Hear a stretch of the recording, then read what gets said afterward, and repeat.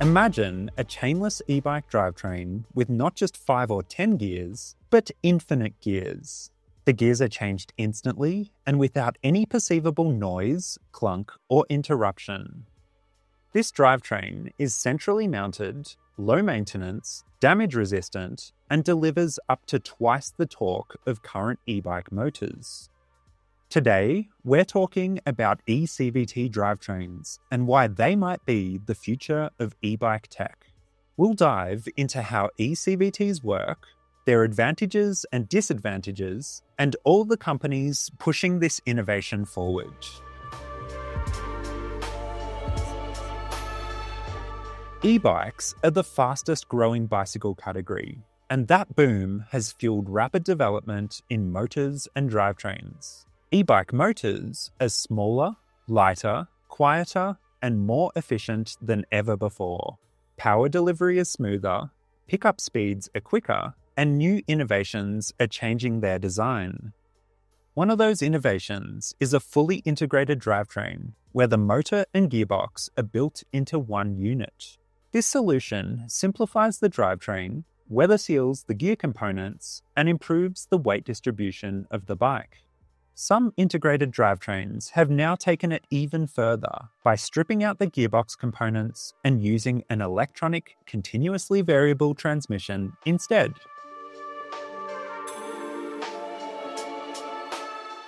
An eCVT is just like other motor gearbox units. However, the difference is that it uses two electric motors and a planetary gear set to achieve its variable gear ratios. If that sounds like something from a hybrid car, you're spot on. The design is similar to the eCVT used in vehicles like the Toyota Prius. Here's a brief explanation of how an eCVT works. There are two motors in a bicycle eCVT.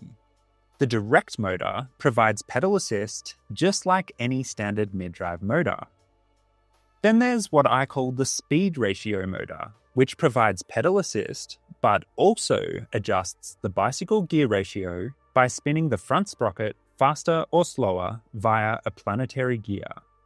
By adjusting the speed ratio motor to a very fine degree, the system can provide infinite gear options. These gears are changed smoothly and instantly with zero rider interruption, there are many more advantages to an eCVT too.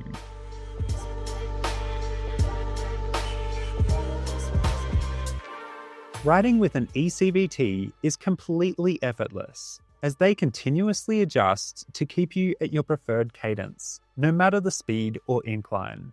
All you have to do is choose a cadence you like, and the motor will take care of the rest. And should you come to a stop, the motor will automatically put you in the ideal gear for takeoff. For those who prefer manual control, shift buttons will provide instant gear changes, even under a full pedal load.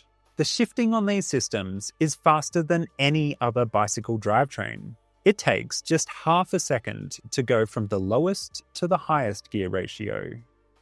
Durability and low maintenance are also major advantages. With fewer exposed parts and fully sealed internals, eCVTs are far less prone to damage than derailleur drivetrains.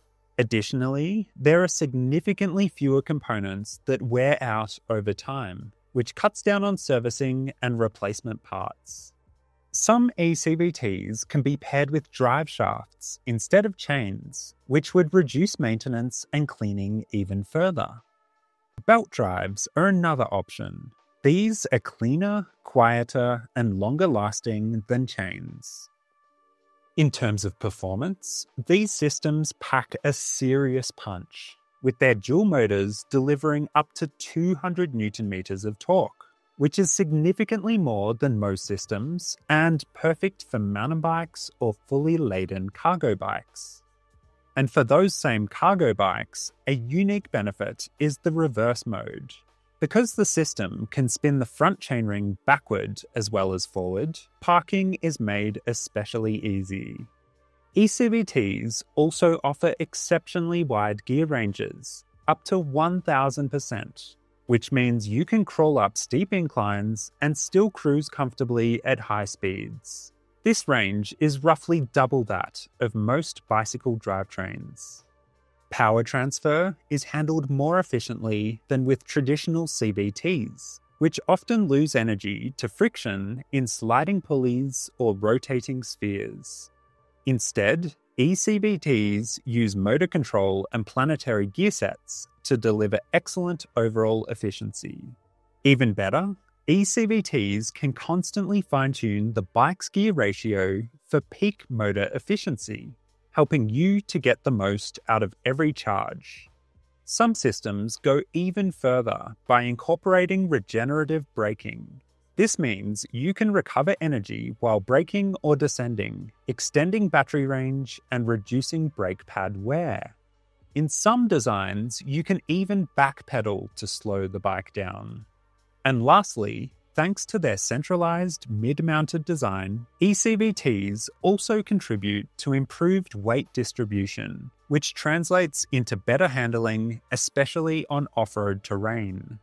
As you can see, eCVTs offer many benefits, but there are some trade offs too.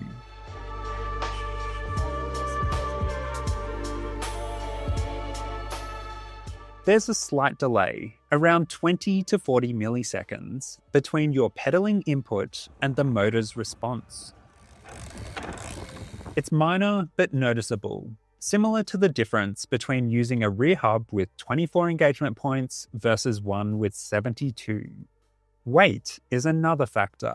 These drivetrains tend to be heavier than a motor and derailleur combo.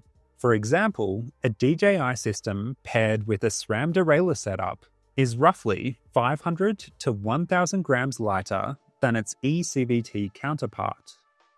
These systems also rely entirely on battery power for gear shifting. If your battery dies, you could be stuck in the lowest gear. That said, most manufacturers build in a reserve capacity for enough shifts to get you home.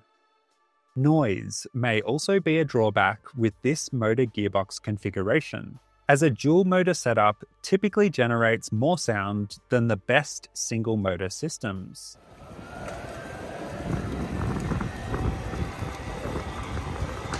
In some designs, the pedals drop to a resting position when the bike's stationary or when it doesn't have battery power. That could be a nuisance if the battery temporarily disconnects while riding, such as when hitting a bump. Additionally, some entry level ECVTs can feel less direct under high torque situations.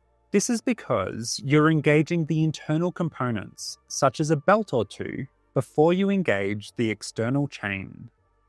And finally, repairs can be more complicated. With more electronics and sensors involved, fixing an ECVT usually requires a trained technician and specialized tools. As with any motorized system, it'd be prudent to only use a system with good local support. Right, that's the full list of trade offs. Let's now take a look at the companies pushing this technology forward. The first ECVT I want to show you is the Revonte One. The stats are excellent on this unit, with a monstrous 200 newton meters of torque, 480% gear range, and 4.7 kilogram weight.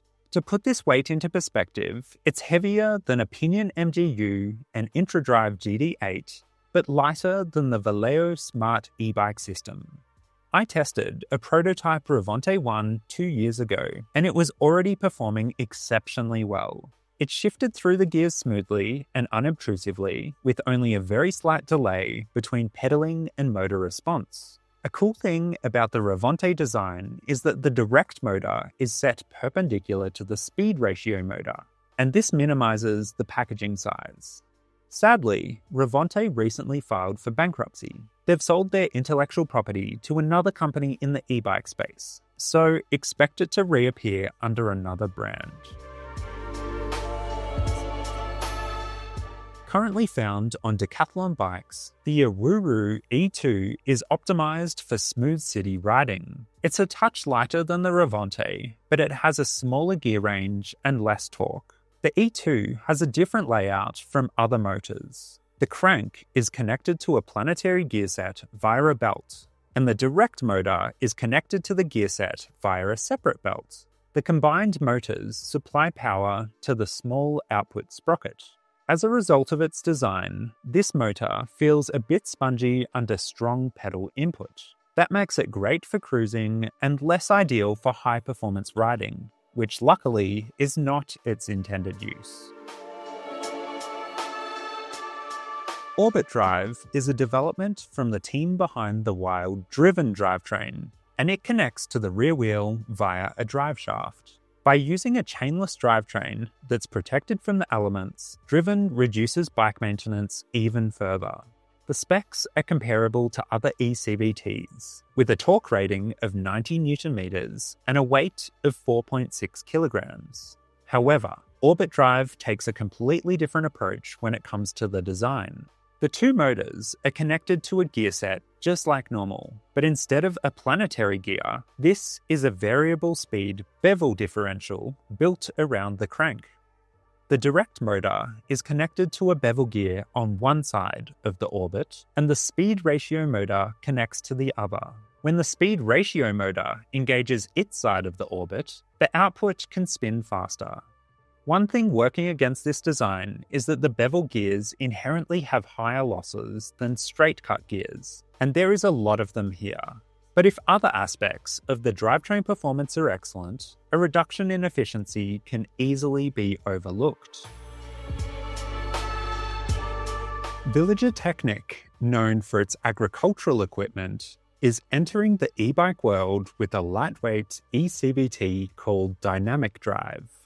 It's still in development, but the stats suggest a serious contender. It's said to be 20% lighter than other motors, while offering 100 Newton meters torque and over 1000% gear range. The last eCVT drivetrain you should know about is by Ellio, this Belgian company specializes in two wheel drive e bikes that can travel at 45 kilometers per hour. The Ellio eCVT layout is completely different to the others, as it's been built using modified e bike parts. The direct motor is found at the front wheel, the speed ratio motor is above the crankset, and the planetary gear is in the rear hub. Two drive belts connect everything up, Ellio bikes have fully automatic gear changing, regenerative braking, and massive batteries for extra range. All you have to do is set your cadence, and the bike will do the rest. Unique to this bike is a cruise control feature, which maintains your cycling speed even as you vary your pedal inputs. And another cool feature, only possible on a two wheel drive bike, is the traction control. Ellio bikes can identify wheel spin or loss of grip and reduce the torque delivered to the wheel or wheels to regain traction. Before I sum everything up, let's quickly chat about why eCVT bicycles aren't mainstream yet. Bringing a new motor and gear system to the market is expensive and difficult. It takes years of R&D and millions in investment. To get the technology off the ground, it typically requires the backing of a major company like Bosch or Shimano. These brands have deep resources, tons of experience, and can quickly scale up production and secure partnerships to get their product out there. Most eCVT projects are startups. While the technology is impressive, mass adoption will take time. That's unless a major player decides to bring it into their lineup. With automatic gear changes, seamless shifting, increased durability, and chainless drivetrain options, eCVTs offer compelling advantages over other drivetrains. There are still challenges to solve, like reducing weight, minimizing pedal lag, and expanding service networks. But the potential here is enormous. As the tech matures and bigger brands get involved, I predict eCVT bicycles will become a common sight on roads, trails, and bike lanes in around a decade. But what do you think? Are eCVT bicycles the future of e bike tech?